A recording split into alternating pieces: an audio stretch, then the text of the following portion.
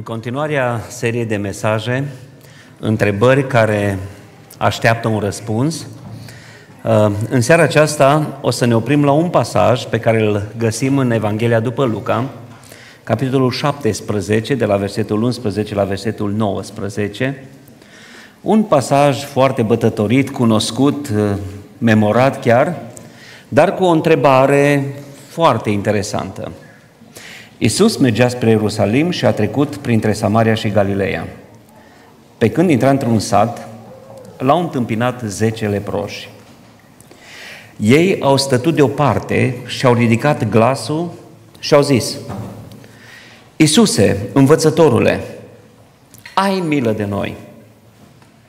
Când i-a văzut Iisus, le-a zis, duceți-vă și arătați-vă preoților. Și pe când se duceau, au fost curățiți. Unul din ei, când s-a făcut, văzut vindecat, s-a întors slăvind pe Dumnezeu cu glas tare. S-a aruncat cu fața la pământ la picioarele lui Isus și a mulțumit. Era samaritean. Isus a luat cuvântul și a zis, oare nu au fost curățiți toți cei zece? Și auziți acum. Dar ceilalți nouă, unde sunt. Nu s-a găsit decât străinul acesta să se întoarcă și să dea slavă lui Dumnezeu? Apoi a zis, scoală-te și pleacă. Credința ta te-a mântuit. Amin. Să ne așezăm. Dar ceilalți nouă unde sunt? Probabil că aceasta este una dintre cele mai triste întrebări pe care Domnul le rostește. Unde sunt ceilalți nouă? Se spune despre părintele Damien, un preot original din Belgia, că a ales să meargă să slujească în ceea ce era numit locul părăsit de Dumnezeu o insulă, insula Molokai, unde uh, localnicii din uh, Hawaii, care erau bolnavi de Hansen, adică de lepră, acolo erau izolați, puși în carantină. Acest preot, Damien, a trăit împreună cu acei oameni pentru 12 ani. După 12 ani s-a îmbolnăvit el însuși de lepră iar patru ani mai târziu a murit. În memoriile sale care ajung la fratele lui, scrie așa, Mă duc cu blândețe în mormântul meu. Este voia lui Dumnezeu și îi mulțumesc foarte mult că m-a lăsat să mor de aceeași boală și în același mod ca și cei pe care i-am slujit în toți acești ani. Sunt foarte mulțumit și fericit pentru aceasta. Unde sunt ceilalți nouă? Trăim mai bine ca oricând și suntem mai nemulțumiți ca niciodată. Sporește confortul, condițiile, avem tot mai mult și ne întâlnim și noi devenim tot mai nemulțumiți. Abia așteptăm un motiv de nemulțumire ca să ne putem manifesta în toată plenitudinea a ceea ce de fapt lăsăm să crească în noi dintr-o sămânță care nu știm cum a ajuns acolo. Suntem nemulțumiți în familii, soția e nemulțumită că nu e iubită destul, soțul nemulțumit că nu e respectat destul, copiii nemulțumiți că nu sunt înțeleși destul, suntem nemulțumiți la serviciu, suntem nemulțumiți în biserică, suntem nemulțumiți de guvern, de primar, de vecini, Suntem nemulțumiți de cum arătăm, știm, niciodată nu-i bine. Și tot timpul ar fi fost mai bine altfel, că dacă am fi fost altfel, am fi fost nemulțumiți, că am fi vrut așa cum suntem. Și uităm că, de fapt, în viață circumstanțele vin și pleacă și viața e amestecată. În aceea zi avem motive să și ne bucurăm și să fim mulțumiți, în aceea zi și în oricare dintre ele avem motive să și dăm cu basca de pământ și să fim plini de nemulțumire. De fapt, Domnul Iisus când spune că grâu și neghina sunt amestecate, rostește și acest adevăr, că bucuriile și necazurile vin, vin împreună în viață. Nu avem cum să trăim o viață în care să fie numai greu. Dar nu este nici o viață în care e numai neghină. Sunt amestecate, tocmai de aceea aș vrea să vedem în seara aceasta foarte pe scurt, doar în câteva minute, cât de ușor putem să alunecăm în nemulțumire. De fapt, noi uh, ajungem nemulțumiți sau suntem nemulțumitori când ne pierdem scopul vieții. Oamenii când nu știu încotro se îndreaptă, când nu mai au o motivație, când nu mai știu pentru ce se trezesc dimineața și încotro merg până seara, N-au cum să fie mulțumiți. Nu avem cum să fim mulțumiți când nu știm de ce, ce mai căutăm pe pământul ăsta. Este o presiune foarte mare să nu știi, să n-ai nicio motivație, să nu știi ce mai ești pe aici. Suntem nemulțumiți când adunăm prea multă frustrare și nu știm să rezolvăm problema, nu știm cum să o descărcăm, cum să ne aerisim de ea. Devenim automat nemulțumiți când adunăm prejudecăți față de alții.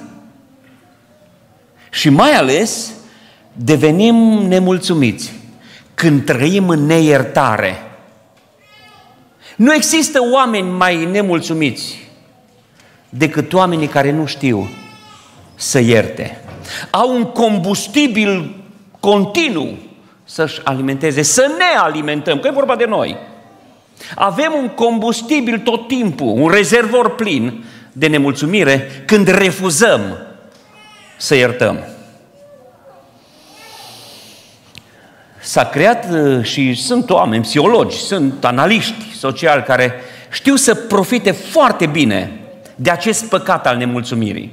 O industrie, dacă vreți, toată societatea aceasta de consum, tot pe nemulțumire se zidește. Atât de bine au citit, atât de bine gândesc toate lucrurile, totul vine în urma citirii acestui sentiment de nemulțumire. Și, și există așa o industrie socială, ne induc nemulțumire ca să vină apoi cu un spirit mesianic să ne spună cum putem să ieșim din acea nemulțumire. Și de aici s-a născut ceea ce noi numim o societate de consum. Vrei să fii mulțumit? Mai ai nevoie de un computer. Vrei să fii mulțumit? Trebuie să schimbi mașina. Vrei să fii mulțumit? Trebuie să-ți iei o tabletă. Și așteptăm, dăm comanda. Așteptăm cu nerăbdare două săptămâni până vine cutia aia cu computerul nou. Și când vine ăla și ne spune, vezi că o sosit, ieșim afară, luăm cutia, Doamne, zici că ai pus mâna în rai.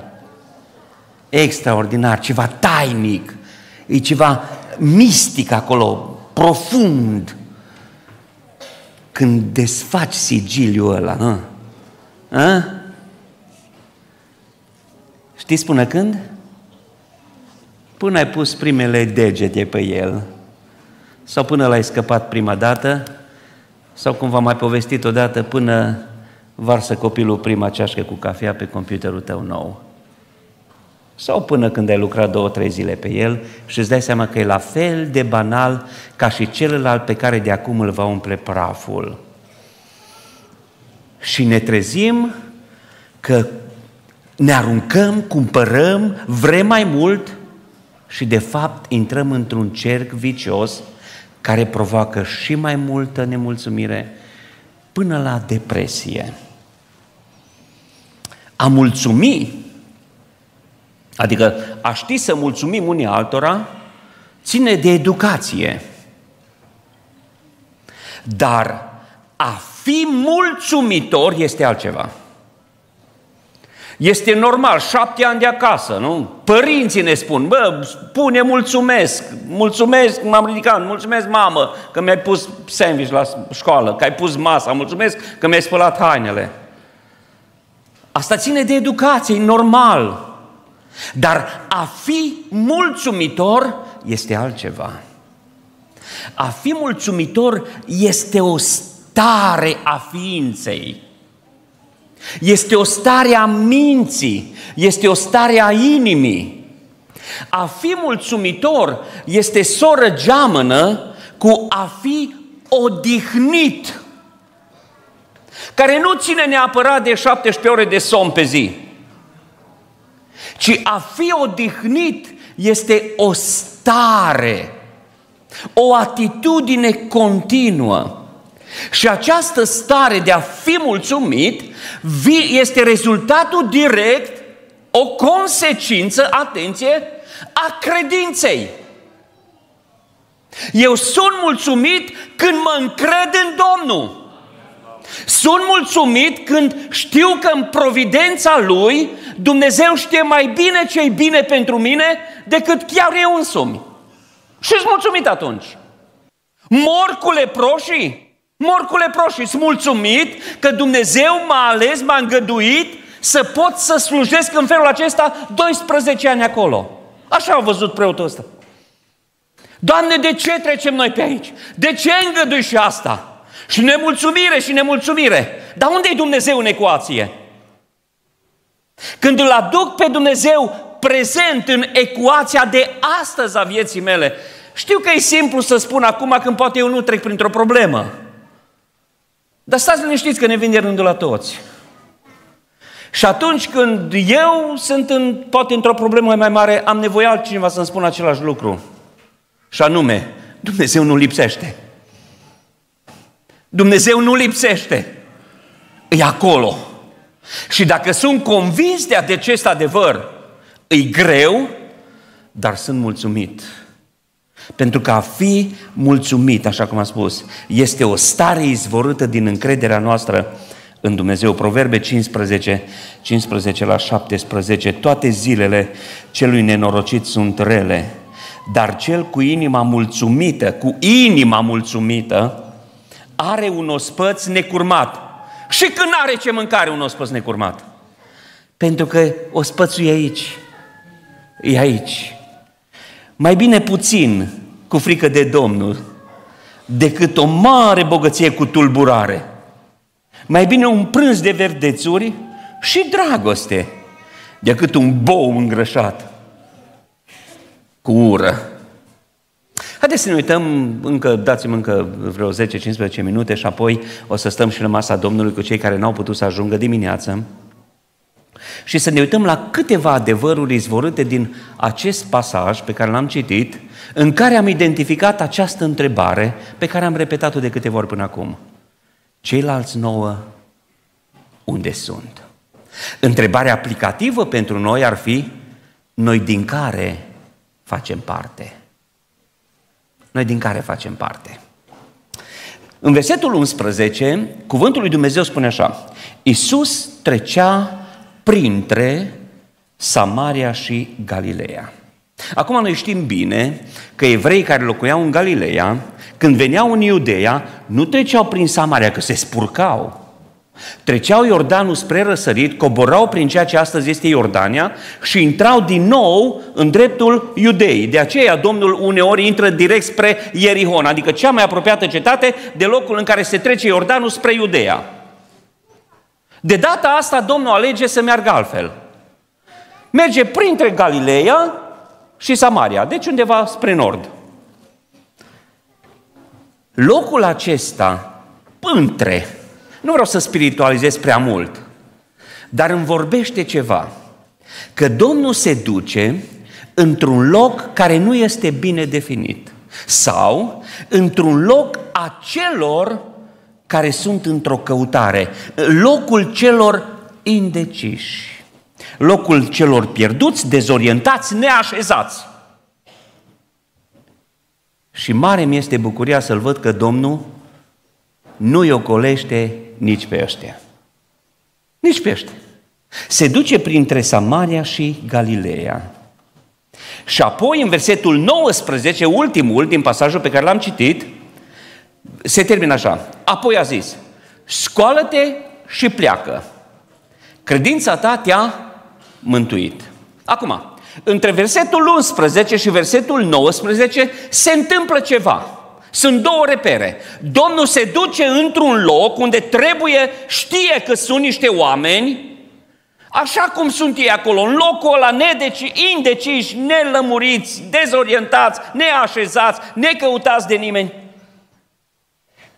Între momentul în care se duce Domnul la ei și momentul în care Domnul face afirmația, scoală-te și pleacă, credința ta te-a mântuit, se întâmplă ceva. Este un moment intermediar. Unde sunt ceilalți?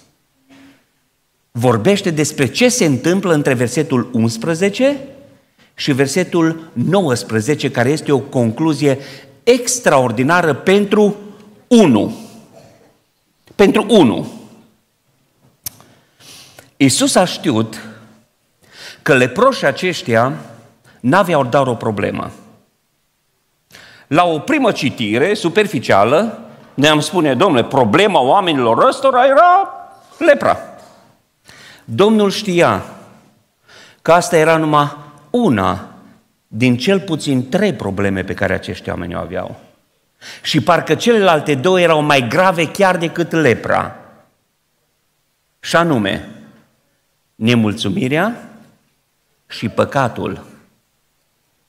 Pentru că atunci când Domnul vorbește cu cel care s-a întors la el, îi spune scoală-te și pleacă, credința ta te-a mântuit. Îl vedem vindecat și de lepră, îl vedem vindecat și de nemulțumire, pentru că vine și se aruncă înaintea Domnului și mulțumește, și îl vedem vindecat și de păcat. Ceilalți nouă vindecați de o problemă pe care o aveau și au continuat viața cu încă două. Haideți să ne uităm atunci încă la două, trei principii pe care le-am scos, extras din acest pasaj și nu mai stau la tot contextul, era atât de frumos să, să fi avut un pic de timp să ne ducem în Levitic 13, să vedem uh, drumul pe care acești leproși l-au bătătorit de multe ori, arătându-se preoților până când au fost declarați leproși incurabili, izolați între Samaria și Galileea, în locuri în care nimeni nu avea acces și ei nu puteau să vină în nicio altă zonă. Dar uh, vreau să vin și să vedem uh, câteva principii esențiale pentru noi. Și anume, vindecarea niciodată nu poate să substituie ascultarea. Noi ne rugăm Domnului, Doamne, atinge-ne, vindecă-ne, ridică-ne, eliberează-ne. Dragii mei, vindecarea vine pe drumul ascultării. Domnul a spus, mergeți și arătați-vă preoților. Și ei au plecat, au ascultat și au fost vindecați. Dar așa cum am spus, nu toți au fost vindecați pe deplin pentru că le-a lipsit ceva celor care n-au primit întreaga vindecare. Iată două adevăruri, așa cum am spus, esențiale. Primul dintre ele. Nemulțumirea și păcatul adună. Nemulțumirea și păcatul adună. Domnule, zici că e magnet acolo. Cum apare o voce nemulțumită, cum dintr-o dată se adună masele. Dintr-o dată este așa uh, un soi de vibrație comună. Atra nemulțumirea, o voce nemulțumită face valuri. Atrage atenția Parcă e un magnet și toată lumea se adună în jurul unui nemulțumit. La fel și păcatul. Lansează o idee năstrușnică să vezi dintr-o dată câți aduni. Antold. Zeci de mii de tineri nesăbuiți. Da? Ce repede adună? Uh, nouă evrei și un samaritean. Știți ce însemna samariteanul ăsta pentru ceilalți nouă evrei? Câine. Nici măcar nu era om. Dar uitați-vă dumneavoastră cum în starea aceasta a nemulțumirii, în starea aceasta, hai să vorbim despre lepră ca despre păcat acum, da? În starea aceasta decăzută, nu mai contează diferențele. Român cu ungur stă împreună. Nu mai contează. Pentru că toate diferențele cad. În fața morții nu mai contează diferențele. Ce contează dacă mori în Maibac sau în Trabant?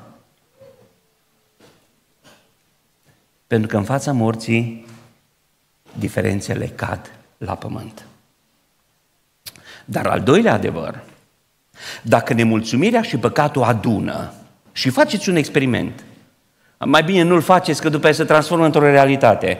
Ea începe acolo la locul de muncă să exprime așa niște mulțumiri. Bă, șeful, nu știu, bă, nu, ați, mă, plătiți mai bine, mă. Bă, până noi ne mai mult. Dintr-o dată, sindicat apare. În două zile aveți sindicat acolo. Asta se întâmplă. Dar dacă nemulțumirea și păcatul adună, este ceva mai mult decât atât.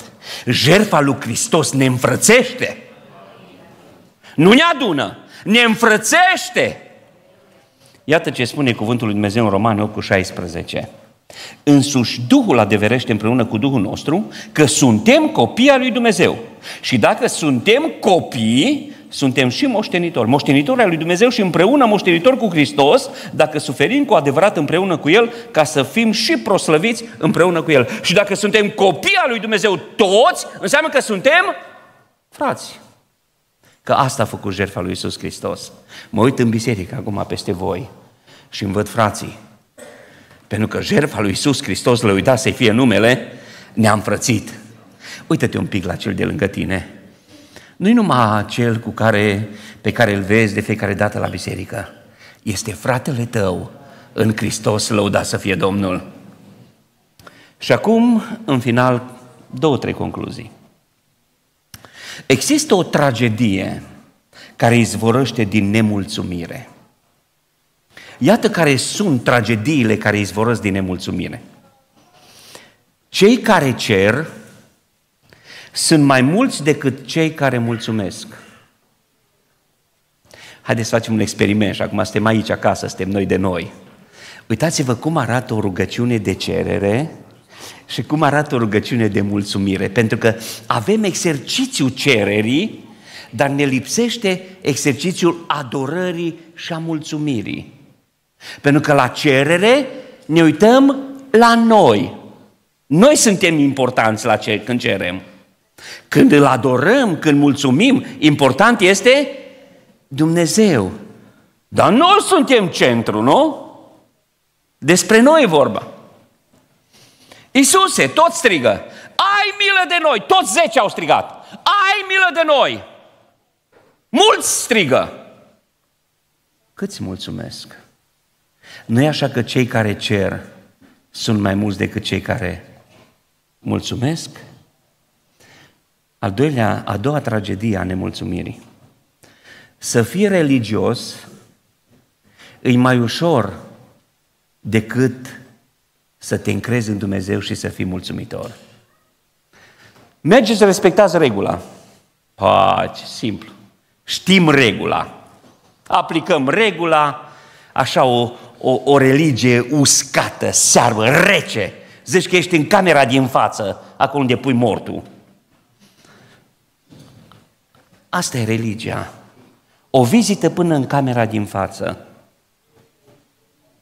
Și musafirii, nu? Tot acolo îi pune. Faci foc trei zile când îți vine un safir în teracotă și tă frighi acolo. Cam asta e viața de o, religia plină de reguli și fără mulțumire.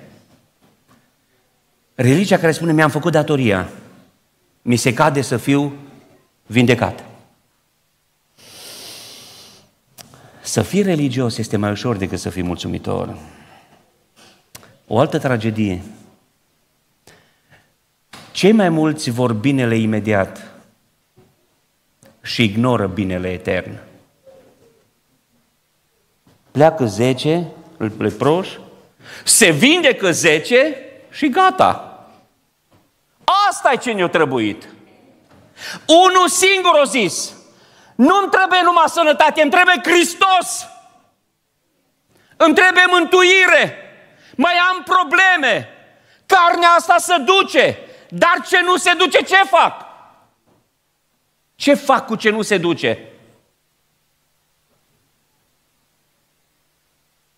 Pentru că ne prea focalizăm. Uitați-vă dumneavoastră, și când îi aud pe... și în limbajul nostru, trebuie să fim transparenți în seara aceasta aici între noi, uh, când vorbim despre binecuvântări, la ce ne referim cel mai mult? Frate, zice, o dat o binecuvântare peste mine. Ce? Ai primit un dar. A? Ai fost eliberat de... A, nu, zice, s-a umplut ceva, nu? S-a umplut ceva. Pentru că, vedeți dumneavoastră, noi de cele mai multe ori vrem binele imediat, uitând de binele etern pe care Hristos îi gata să ne-l dea. De aici se trage și următoarea concluzie. Nu întotdeauna vindecarea trupească aduce neapărat vindecare sufletească. Sunt două lucruri. Pe am, de ambele avem nevoie, într-adevăr. Dar e mai important a doua. Fără a doua nu se poate. Fără prima se poate. Și am să vă spun ceva. Oricum se va întâmpla cândva. Oricum se va întâmpla cândva. Că doar nu moștim noi pământul ăsta care arde oricum.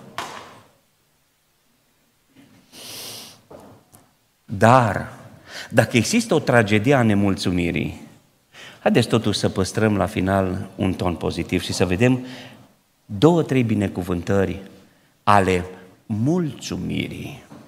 Repet, noi nu avem nevoie de circumstanțe ca să devenim mulțumitori și mulțumiți. Asta e o stare a inimii în care locuiește Duhul lui Dumnezeu. Când îl am pe Duhul lui Dumnezeu, îl vezi, ne vedem, atitudinea spune. Este un om al păcii, un om așezat, un om liniștit, bun, mulțumit. Ăsta e un matur. Uh, știți care este una dintre marile binecuvântări ale mulțumirii? Că binefăcătorul este mai important decât binefacerile. Ce vrem de fapt? Ce ne poate da Dumnezeu? Sau o relație vie cu Dumnezeu, care ne dă cei mai buni și când trebuie? Ce vrem de fapt? Vă aduceți aminte când Domnul a făcut o promisiune lui Moise, a zis, Moise, du-te că va fi bine, te duci până în țară. Știți ce o Moise? Dacă tu nu vii, nu fac un pas. Adică, Doamne, eu n-am nevoie de protecția, binecuvântarea și faptul că Tu ne duci în țara Canaan. Nu de asta am nevoie. De Tine am nevoie. Un pas nu fac fără Tine. Mai bine crăpăm aici toți. Pentru că Moise a înțeles că persoana lui Dumnezeu este importantă.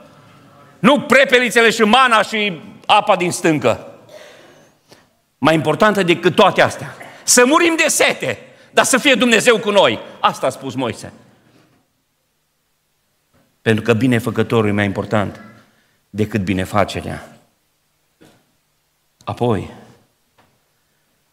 cel mai frumos lucru pe care îl văd în pasajul acesta. Vă rog să vă imaginați scena aceasta. Zece oameni cărora cândva le-au murit toate visele. Să-ți faci planuri, să fii tânăr poate.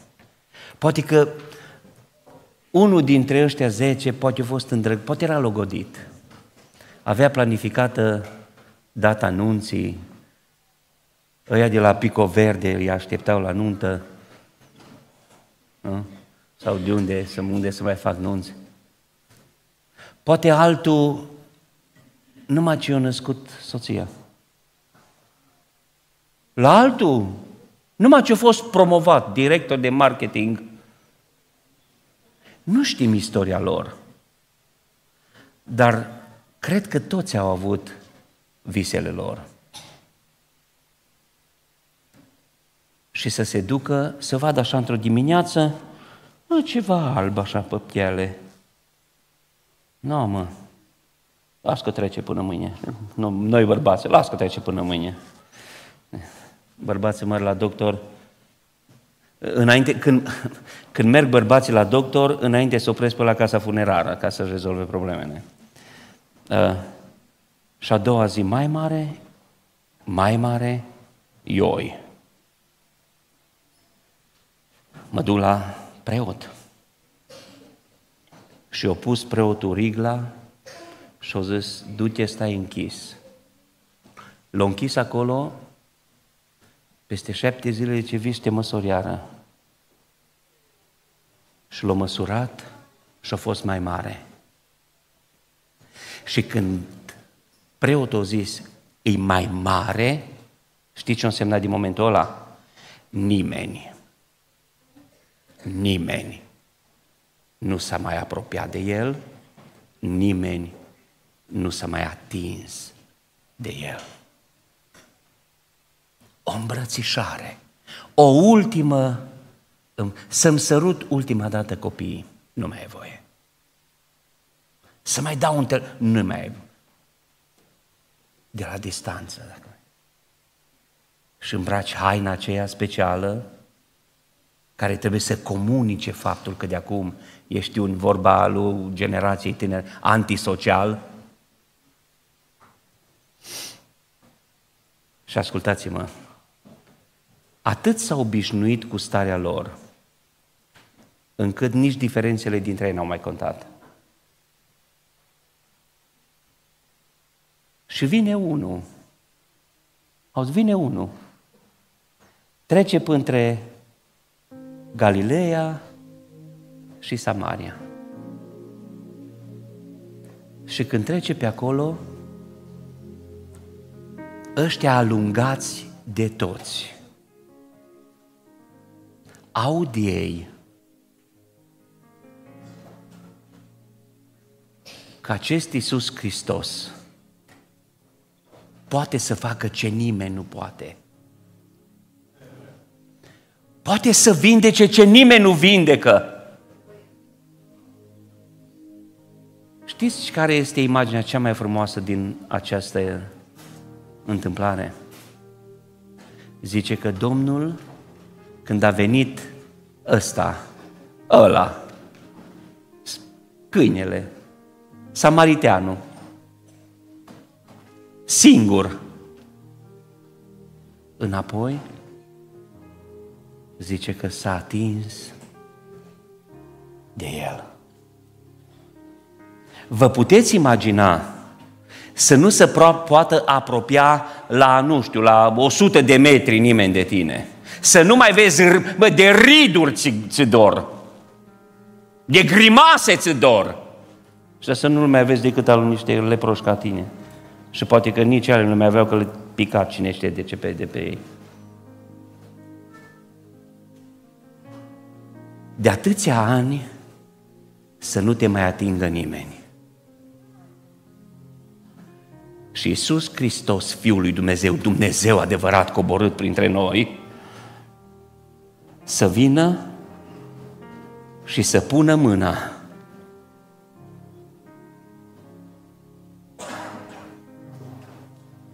pe cel pe care nimeni nu mai punea mâna niciodată. să fii atins când nimeni nu te mai atinge. Acum hai, vreau să fac o aplicație mai apropiată de noi. Atâția oameni în depresie, atâția oameni descurajați, supărați, nemulțumiți, cât în ultimul timp nu știu când am mai fost pe fața pământului. Atâta lipsă de valoare în oameni ca și astăzi, rar cred că mai fost. Ni se creează modele idealiste, intenționat să ne comparăm cu ele ca să ne simțim noi nimeni. Și nu ne place cum suntem, și nu ne place unde suntem, și nu ne place ce facem, și nu ne place asta, și nu suntem tratați bine, și nu găsim recunoștință, și ne simțim folosiți, și atâtea și atâtea se rostogolesc peste noi. Și am început să ne vedem atât de fără valoare. Trăim într-o lume în care spunem că avem grijă unii de alții, dar cred că niciodată n-a fost atât de înslăită față de nevoile celorlalți. Nimeni nu mai simte cu nimeni.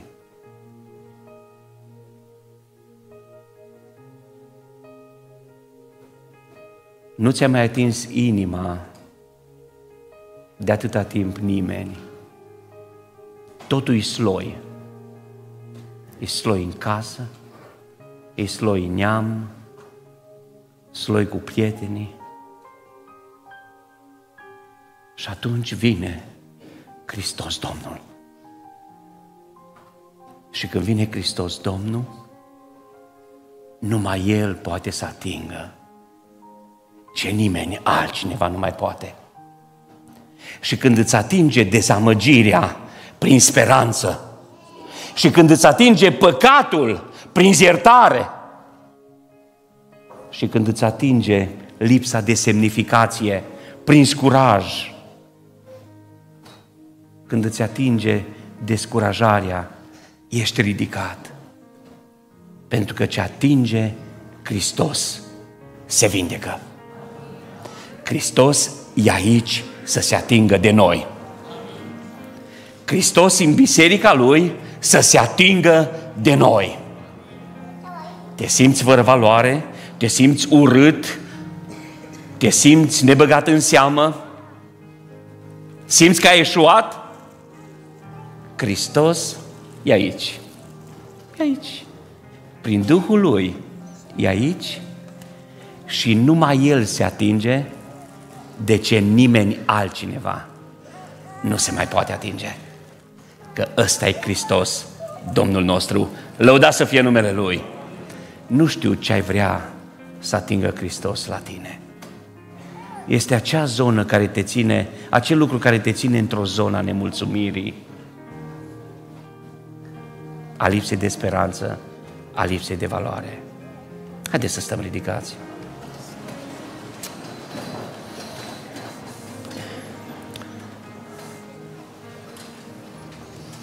Vă chem la rugăciune acum. Asta va fi o rugăciune individuală.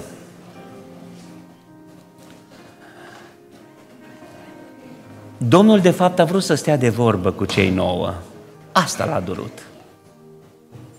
Unde sunt ceilalți nouă? Tu din care categorie faci parte? N-ai vrea să te întorci la Hristos? să-i mulțumești și să pleci vindecat de plin? Proșterne-te înaintea lui Hristos și El ne primește cu brațele deschise. Intrăm în rugăciune.